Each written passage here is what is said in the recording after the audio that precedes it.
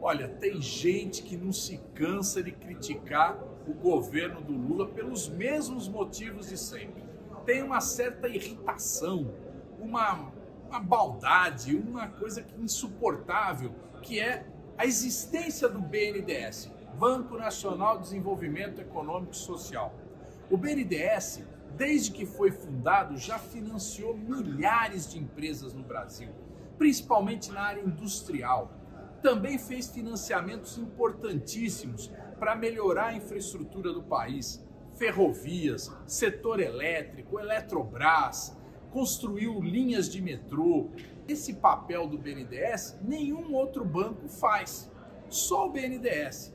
Mas o capital financeiro, a grande mídia e principalmente os atores externos, a economia externa do Brasil, não querem que o BNDES exista. Para eles é uma coisa que incomoda. Por quê? Porque o BNDES, quando funciona, faz a economia brasileira crescer. Uma coisa que também eles vivem a criticar: o Brasil financiar, o BNDES financiar a atuação de empresas no exterior. Eles vêm sempre com o exemplo de Cuba e Venezuela, quando o governo brasileiro, através do BNDES, financiou a venda de produtos brasileiros no exterior.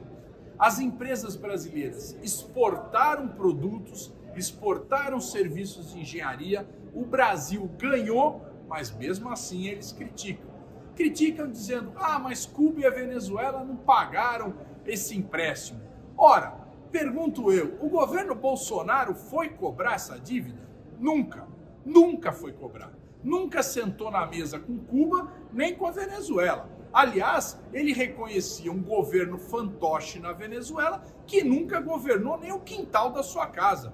Nunca sentou com Maduro para de fato discutir a dívida da Venezuela, nem muito menos com o governo cubano. Está na hora exatamente é do governo, através do BNDES, voltar a financiar essas atividades de exportação. Mas o BNDES não vai parar por aí.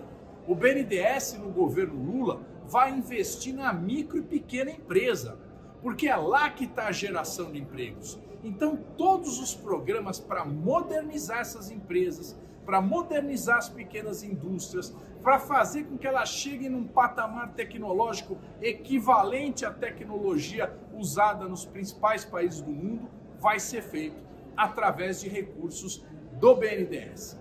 Então, minha gente, pode acreditar, o nosso banco, que é um banco que é, foi criado, que tem recursos públicos, esse banco vai ajudar o desenvolvimento do país.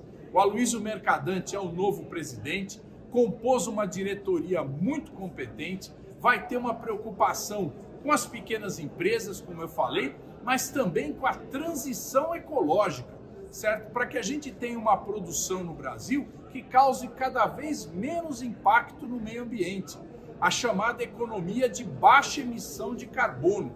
É isso que nós queremos. O Brasil tem que evoluir muito nesse aspecto. Queremos novas tecnologias, tecnologia de informação, comunicação 5G, investimentos para pesquisa também. É isso que nós vamos ter. O BNDES vai cumprir seu papel. O Brasil vai crescer, vai desenvolver e vai gerar empregos, apoiando inclusive a micro e pequena empresa aliás, apoiando principalmente a micro e pequena empresa.